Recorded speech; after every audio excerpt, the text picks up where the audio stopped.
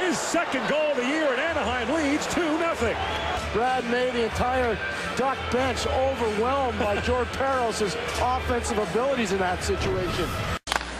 Miller has gone to the bench with the extra skater to the point. Shot, save, loose puck, and in! On a delayed penalty. It looked like Sharnquist was going to touch the puck. The play was going to be dead. And Parros, who was so big, reached in and somehow worked it free, and they just kept it going. And Mr. Mustache kept it alive for the Ducks. And they get the tying goal. And with speed, Christensen the other way. Across the line to the middle for Brown. Rebound. Parros scores! Way to go, Big George.